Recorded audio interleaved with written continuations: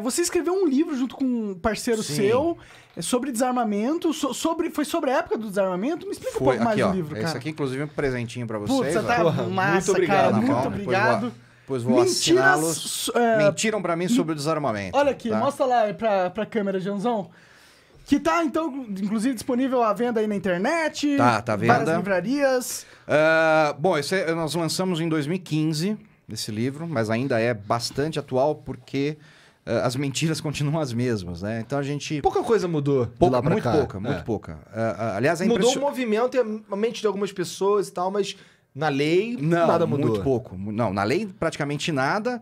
Ah, e na argumentação pró-desarmamento, né, favorável ao desarmamento, também nada. É. Né? Continua aquele negócio, ah, vai virar bang bang. Ah, vai sair tiroteio na rua.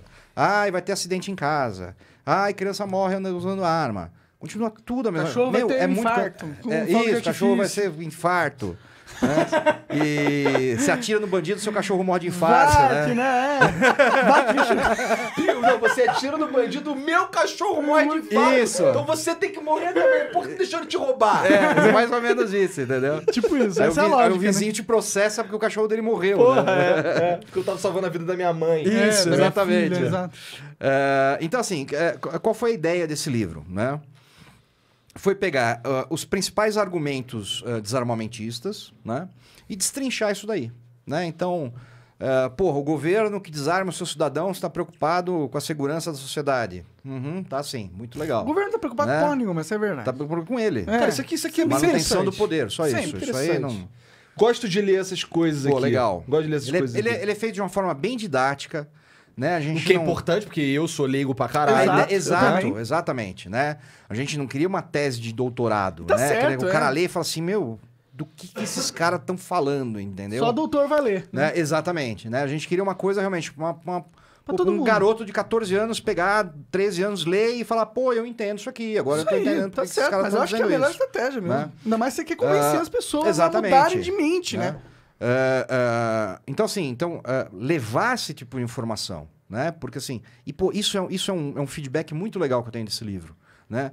A quantidade de pessoas que me escrevem, né? Que mandam mensagem, normalmente garotos, jovens, assim, 16 anos, 18 anos, falam, porra, eu pensava completamente diferente e, porra, agora eu tô vendo com outros olhos, né? Nunca tinha olhado por esse lado, Entendi. né? Nunca tinha visto é, é, essa argumentação. É, eu, né? eu não tenho argumento nenhum, a única coisa que eu, que eu penso é assim, porra, eu devia ser livre pra escolher isso. É, é- mas assim, esse é porque eu não, não estudei, Aham. não sei nada. Então a única coisa que eu. Eu sou a favor de, de, de que as pessoas tenham arma, porque eu acho que as pessoas deviam ter meios de se defender. Ah. Porque se você for entrar nessa de que se você me der uma arma eu vou te matar, que Bom, porra é então, essa? Como porra, assim, cara? Pode matar de várias formas, porra, mano. Eu tenho um, um taco de tirar beisebol fa- na tua cabeça e te Ah, mata vamos, tirar, vamos tirar faca, vamos tirar Pois carro, é, vamos tirar é. garrafa. Cara, sabe como que eu vamos, poderia matar vamos alguém? proibir o cara de comer bacon. Amigo meu andando. É. Exato, exato. É. Ou incentivar. Tipo, todo Ah. dia você compra um, um Pô, pote de sorvete e São dá pra Paulo, pessoa, assim. São Paulo. Em três anos São você Paulo, mata o maior índice de mortes violentas em São Paulo hoje, se não me engano, é acidente de moto.